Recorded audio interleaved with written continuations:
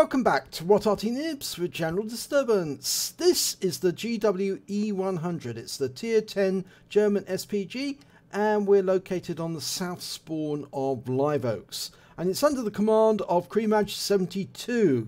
Now this is another instance of arty team killing or an arty being team killed uh, by other members of his team and I'm just going to start the replay and you will see the IS-7 of Silas 007 and he's going to team kill Silas, uh, team kill krimaj. You see he's moving off to his firing position. He's done nothing to harm Silas at all. Silas 001 and he's just wiped out He's just wiped out krimaj for absolutely no reason whatsoever.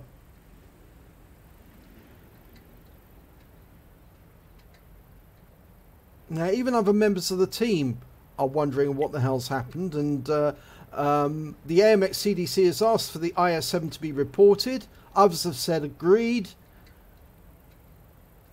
They've just taken away one of their fire support, and the GWE 100 of krimaj says he's reporting the IS-7 all report team kill, and the others are saying they've done so.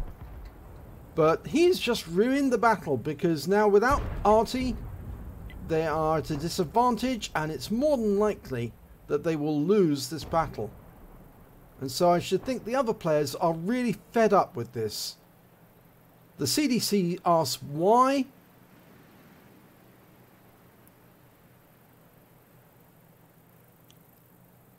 and the 50 TP says arty bad?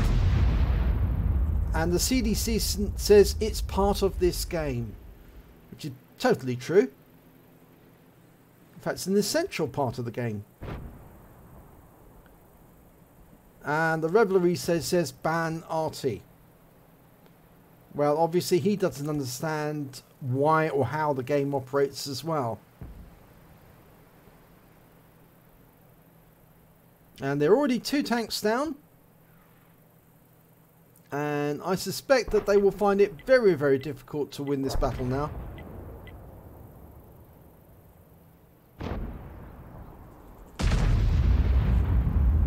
Their own arty, the M55, uh, their remaining arty, is still firing as much as he can at the enemy. But of course, now that they've lost one of their biggest pieces of firepower, the GWE 100, I really doubt that they're going to be able to survive. They're now three tanks down on the battle. They've actually managed to score a kill, but uh, how long that remains, I do not know.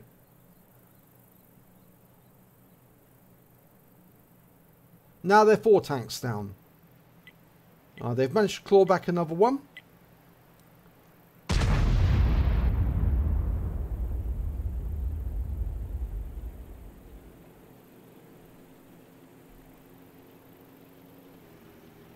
Now they're four tanks down again. It just goes to show the lack of fire support. All of a sudden you see a huge difference in the scores. Not just the one tank that they lost. Now they're five tanks down. But it's the fact that the arty actually supports them. It enables them to defeat the enemy, to stop the enemy making grounds. And without that arty and the enemy having two arties to support them, means obviously they're much more likely to win. Now there's six tanks down. So it's all thanks to the IS-7. They are now going to lose this battle because somebody was stupid enough to kill the arty at the start. And you can see their, their enemy tanks are now close to the cap area. They're coming in from the north. They've won the town. They're winning the railway line. And here comes the enemy uh, light tank. He's after killing the arty. Of course, the arty's relocated. He's over there now. He's had to move because there's a 1390 on the way trying to find him and kill him.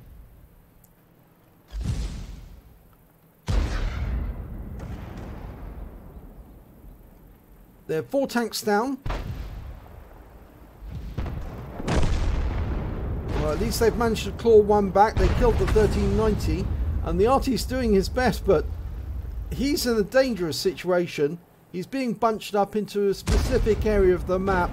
And of course, enemy arty will now be aware of where he is. And they're now starting to move into the cap area.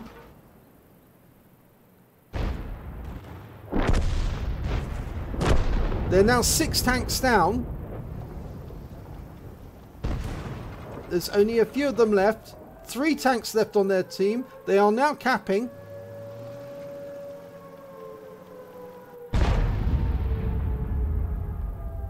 And basically it's hopeless now. There's virtually no chance that they're going to survive. Two tanks down. The one on the railway line has gone. That means it's just the Wizzy 132 and the M53, M55.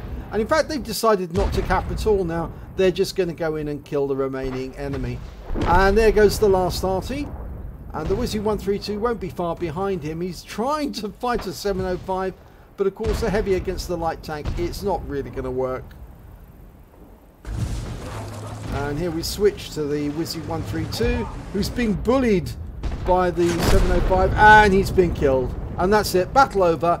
And it was lost all because of the IS-7 of Silas, Silas 001. Right at the start in his in his um, IS-7, wiping out krimaj 72. Now, if we look at the team score, we can see that uh, although their highest scorer was Silas 001, and he actually ended up with a fire for effect bruiser and duelist, um, 4,651 hit points of damage and only one kill. Uh, the enemy's highest scorer was their Centurion Action 10. He managed 5,727 hit points of damage, picked up the high caliber, managed to get two kills. But uh, what's more important is that uh, only three members of um, team actually managed to get kills during that battle. Or was it three? No, sorry, I beg your pardon. It was uh, four members of their team actually managed to get kills. Silas 001, of course, who actually killed krimaj. Uh, then the M46 Patton, um, the IS-3 and the Wizzy 132. Everyone else was at a disadvantage right from the start and of course they stood no chance against a team which had all of their arty support and nobody had team killed them. So uh, let's have a look at the um, detailed report and of course krimaj was denied any chance to fire on the enemy. Uh, he did receive 5,739 credits for the battle, was compensated for the dam team damage, um, and after uh, costs of repair, which are considerable, all he walked away with was the 5,739 he got for taking part. Uh, but of course, it was completely wasted battle and it ruins his statistics purely for the fact that Silas 001 has um, uh, desired to break the rules of Wargaming's rules and team kill. And team kill specifically the arty for no valid reason whatsoever. And come on, Wargaming, you've got to do something about this. People who team kill arty because they are arty is discrimination against arty players by those other players. So you need to ban these people, or at least tell them that if they do this, that they will receive some substantial fine uh, from Wargaming for uh, doing this, or that they would have to pay all compensation, preferably all the credits they've accumulated and all the gold they currently hold, then transfer that over to the person they've team killed. I'm sure that if you threaten to do this to the actual players that team kill and transfer all of their gold and all of their credits, they wouldn't team kill ever again because they'd realise they would be making rich any arty that they team kill. They would be effectively sponsoring arty by doing what they're doing. So uh, that's the best way to deal with this. To um, whenever these replays are handed in to you, you immediately transfer all the gold, all the credits from this player, and pass them over to the victim. And that's the only way to get rid of uh, team killing forever. So come on, Wargaming, it's up to you. Transfer all the credits that belong to Silas001 and his gold, and pass it over to krimaj 72 in the GWE 100 so he has adequate compensation to stop team killing. Thank you.